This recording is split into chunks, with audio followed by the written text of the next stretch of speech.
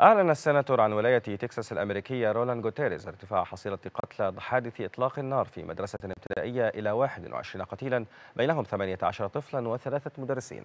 وقال حاكم ولاية تكساس غريغ أبوت إن المشتبه به الذي عرفه أو عرفه باسم سلفادور راموس يبلغ من العمر 18 عاما وقتل على أيدي ضباط الشرطة والذين انتقلوا إلى موقع الحادث.